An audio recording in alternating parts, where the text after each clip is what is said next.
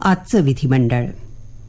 सुरुवातीला विधानसभेतील कामकाजाचं समालोचन लेखन केलंय गौरीशंकर घाळे यांनी. वाचकस्वर नेहा कुलकर्णी यांचा.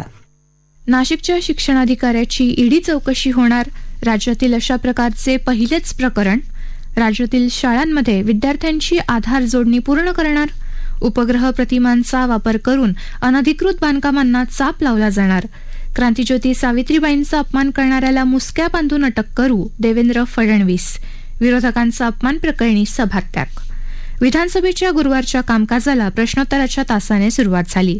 आमदार बच्चू कडू अशोक पवार सुनील कांबळे यांच्यासह अनेक आमदारांनी राज्यातील शिक्षण विभागातील अधिकाऱ्यांच्या भ्रष्टाचाराबद्दलचा प्रश्न तारांकित प्रश्नाद्वारे उपस्थित केला. आमदार सीमा हिरे यांनी नाशिकमधील शिक्षणाधिकाऱ्याच्या संदर्भात प्रश्न विचारला आणि त्याच्याकडे बेहिशेबी मालमत्ता आणि सोने मोठ्या प्रमाणावर सापडल्याचे निदर्शनाला आणून दिले.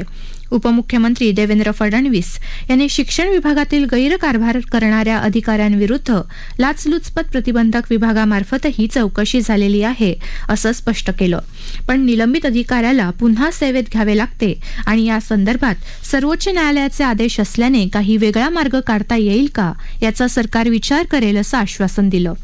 पृथ्वीराज चव्हाण यांनी उपप्रश्न विचारून नाशिकमध्ये शिक्षणाधिकाऱ्याकडच्या छाप्यात मोठ्या प्रमाणावर सोने आणि रोख पैसे जप्त झाले तर त्याच्याविरुद्ध मनी लॉन्ड्रिंग खाली का कारवाई करत नाही असा प्रश्न विचारला. तसंच इतरांना बेछूटपणे हा कायदा लावतो तर यांना का नाही असे विचारले. त्यावर फडणवीस यांनी संबंधित अधिकाऱ्याची ईडी चौकशी केली जाईल असं जाहीर केलं. ते म्हणाले की नाशिकच्या संबंधित जिल्हाधिकाऱ्याचे प्रकरण सक्तवसुली संचालनालयाकडे सोपवण्यात येईल. सर्वोच्च न्यायालयाच्या आदेशामुळे नऊ महिन्यांनी अशा अधिकाऱ्यांना परत घ्यावे लागते आणि मग अकार्यकारी पद नसल्यानं त्यांना पुन्हा कार्यकारी पदावर ठेवावं लागतं. ते पुन्हा असे गैरप्रकार करतात. त्यामुळे कायद्याचीच पळवाट मिळते म्हणून त्यांना ठेवणे योग्य नाही हे लक्षात घेऊन यासंबंधीची तरतूद करण्यासाठी कायदेशीर सुधारणा करण्यासंदर्भात शिक्षण आणि विधी आणि न्याय विभागाला निर्देश दिले जातील असंही फडणवीस यांनी सांगितलं. आमदार योगेश सागर यांनी विचारलेल्या उपप्रश्नाला उत्तर देताना फडणवीस म्हणाले की शिक्षण विभागाला एंड टू एंड डिजिटायझेशन करायला सांगितलं जाईल. आमदार नाना पटोले यांच्या उपप्रश्नाला उत्तर देताना फडणवीस यांनी सांगितलं की शिक्षणावर सर्वाधिक खर्च करणारे देशातील राज्य महाराष्ट्र आहे. ते म्हणाले की आपण वर्षाला एक लाख कोटी रुपये शिक्षणावर खर्च करतो आणि अनेक राज्यांचा अर्थसंकल्पही तेवढा नाही. या खर्चाला गुंतवणूक म्हटलं तर त्यातून परतावा येताना दिसत नाही. कारण त्यातून मग दर्जाचे विषय आहेत. पट पडताळणी केली तर ती परत करावी लागली. हा विषय आहे. तसंच शिक्षण विभागाच्या पाठपुराव्यानंतरही शंभर टक्के आधार नोंदणी नाही. त्यामुळे तपासणी केल्यास वीस ते पंचवीस टक्के विद्यार्थी असे सापडतील जे दोन शाळांमध्ये दाखवलेले आहेत. तसंच काही अस्तित्वात नसलेलेही सापडतील. हे लक्षात घेऊन शंभर टक्के आधार नोंदणी पूर्ण झाली पाहिजे असंही फडणवीस यांनी सांगितलं. विद्यार्थी किती हे तर समजले पाहिजे असे सांगून ते म्हणाले की याकडे शिक्षण विभाग नक्की लक्ष देईल. आमदार संजय पोतनीस यांनी डोंबिवली इथे बनावट महारेरा नोंदणी प्रमाणपत्र जोडून अनधिकृत इमारतीतील सदनिकांच्या खरेदी विक्री व्यवहारांची दस्त नोंदणी केल्याबद्दलचा प्रश्न विचारला. गृहनिर्माण मंत्री अतुल सावे यांनी या प्रकरणी आठ ते पंधरा दिवसात कारवाई केली जाईल असं जाहीर केलं. आमदार अतुल भातखळकर यांनी विचारलं की ही मे महिन्यामधली घटना आहे तर निलंबित करायला इतका वेळ का घेत आहात? उपमुख्यमंत्री फडणवीस यांनी सरकार पक्षाच्या वतीने उत्तर देताना सांगितलं की या प्रकरणात बनावट कागदपत्रे विकासकाने तयार केली. त्यामुळे महापालिकेचा डेटा आणि महारेराचा डेटा एकमेकांशी जुळतो का हे करण्याच्या सूचना दिल्या जातील. तसंच सर्वसामान्य नागरिकांनाही केवळ जाहिरातीत महारेरा नोंदणीकृत आहे हे सांगितलेलं असेल तर सदनिका किंवा घर घेण्यापूर्वी महारेराच्या संकेतस्थळावर जाऊन तपासून मगच घर नोंदणी करावी असं आवाहनही फडणवीस यांनी केलं. आमदार जितेंद्र आव्हाड यांनी क्रांतीज्योती सावित्रीबाई फुले यांच्या संदर्भातील अवमानकारक मजकुराचा मुद्दा तारांकित प्रश्नाद्वारे उपस्थित केला. त्यावर उत्तर देताना गृहमंत्री देवेंद्र फडणवीस यांनी सांगितलं की हे आक्षेपार्ह लिखाण केलं. त्याचा शासनाने तेव्हाच निषेध केला आहे. मी आज पुन्हा निषेध करतो. या संदर्भात तातडीने गुन्हा दाखल केला गेला आणि ज्या वेबसाईटने शेअर केले त्यांच्यावर गुन्हा दाखल केला. ज्या व्यक्तीने ज्या ट्विटर हँडलवरून मूळ मजकूर समाज माध्यमांवर टाकला त्या व्यक्तीचा शोध घेण्यासाठी राज्य सरकारने ट्विटरला तीन पत्रे लिहिली आहेत. ट्विटरकडून साधारणपणे अशी माहिती मिळायला दोन ते तीन महिने जातात. असे सांगून फडणवीस म्हणाले की ट्विटर इंडियाच्या लोकांशी पोलीस संपर्कात आहेत आणि हा जो कोणी ट्विटर हँडल भारद्वाज स्पिक्स आहे त्याच्यावर कारवाई करणारच आहोत.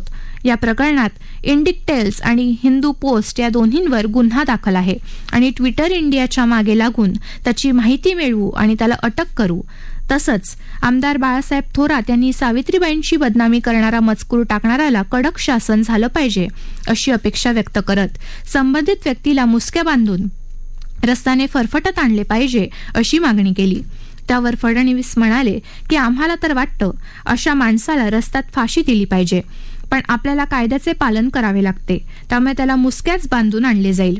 बाळासाहेब थोरात ज्येष्ठ सदस्य आहेत आणि सावित्रीबाईंच्या विषयावर सत्ताधारी आणि विरोधी पक्ष असे काही भेद नाहीत असे सांगून फडणवीस म्हणाले की संपूर्ण सदन या विषयावर एकत्र आहे. पण राजकारणासाठी सदनातून सभात्याग केला जात असेल तर अशा राजकारणाचाही निषेध करायला हवा. विधानसभा अध्यक्षांनी प्रश्नोत्तराचा तास संपला असे जाहीर केल्यानंतर बाळासाहेब थोरात यांच्या नेतृत्वाखाली विरोधकांनी सभात्याग केला.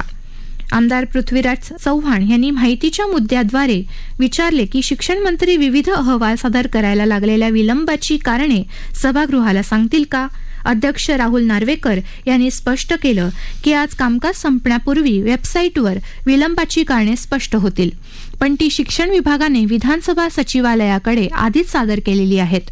उपमुख्यमंत्री देवेंद्र फडणवीस यांनी सांगितलं की शिक्षण मंत्री आजचे कामकाज संपण्यापूर्वी या विषयावर निवेदन करतील. आमदार प्रतिभा धानोरकर यांनी चंद्रपूरमध्ये जुगार खुलेआम सुरू आहेत आणि बँकेच्या माध्यमातून चंद्रपूरमध्ये पैसे हस्तांतरित होत आहेत. एका तरुणाने यात आत्महत्या केलेली आहे. तरुण पिढीसाठी धोकादायक आहे. तामिळनाडूने बंदी घातली आहे तशी आपल्या राज्यानेही घालावी अशी मागणी औचित्याच्या मुद्द्याद्वारे केली. आमदार किरण लहामटे यांनी जागतिक आदिवासी दिन साजरा करण्यासाठी नोकरदार आणि विद्यार्थी यांना सहभागी होता येता यावे. यासाठी नऊ ऑगस्टला जागतिक आदिवासी दिनाची सुट्टी जाहीर करावी अशी विनंती औचित्याच्या मुद्द्याद्वारे केली. आमदार रवींद्र धंगेकर यांनी पुणे शहरातील जुन्या वाड्यांचे रखडलेले प्रश्न कायमस्वरूपी सोडवावेत ही विनंती औचित्याच्या मुद्द्याद्वारे केली. आमदार डॉक्टर भारती लवेकर यांनी कोळीवाड्यांचे सीमांकन लवकरात लवकर पूर्ण करावे ही विनंती केली. विधानसभेतील कामकाजाचं समालोचन आत्ता आपण ऐकलं. लेखन केलं गौरीशंकर घाळे यांनी.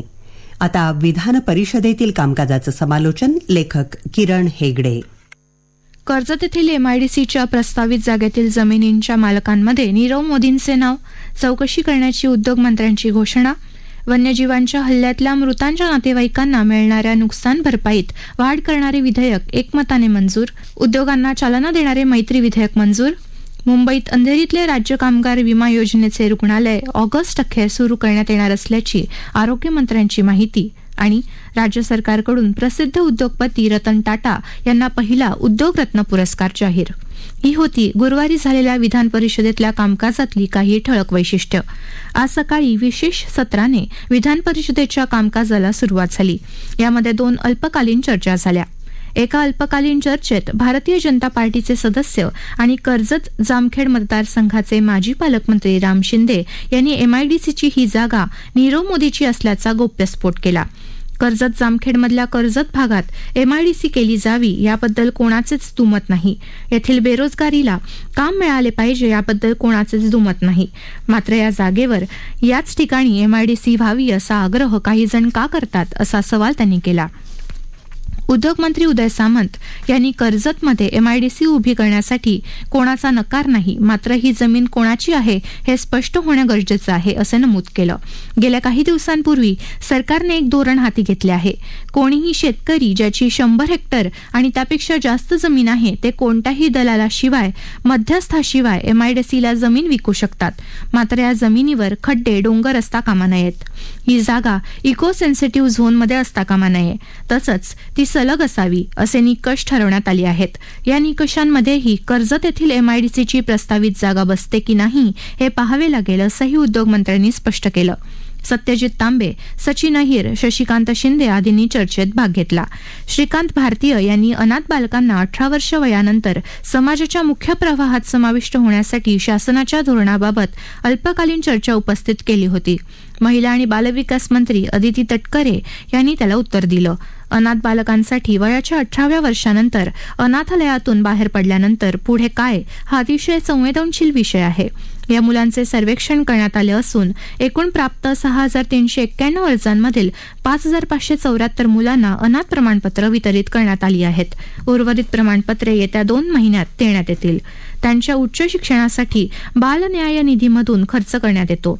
त्यासाठी नोकरीत एक टक्का आरक्षण ठेवण्यात आलं असून शहाण्णव जणांचा नोकरीत समावेश करून घेण्यात येत आहे. पाचशे मुलांना पिवळी शिधापत्रिका देण्यात आली असून त्यांना महात्मा फुले आरोग्य सुविधेचा लाभ मिळू शकणार आहे. अनाथ मुलांसाठी सात अनुरक्षण गृहे असून यातील एक मुलींसाठी आहे. यांची क्षमता सहाशे पन्नास असून त्यापैकी चारशे पन्नास जागा रिक्त आहेत. अनाथालयात बालकांचे समुपदेशन करण्यात येतं. त्याचप्रमाणे अठरा वर्ष वयानंतर देखील त्यांना मोफत समुपदेशन उपलब्ध करून देण्यात येईल असं त्यांनी सांगितलं. मुंबईतील राज्य विमा निगम मंडळाचे अंधेरी मरोळ एमआयडीसीतील कामगार रुग्णालयास सन दोन हजार अठरामध्ये लागलेल्या आगीनंतर बंद करण्यात आल्यानं कामगारांची प्रचंड गैरसोय होत असल्यानं सदर हॉस्पिटल तातडीने सुरू करण्याबाबत डॉक्टर मनीषा कायंदे यांनी तारांकित प्रश्न उपस्थित केला होता.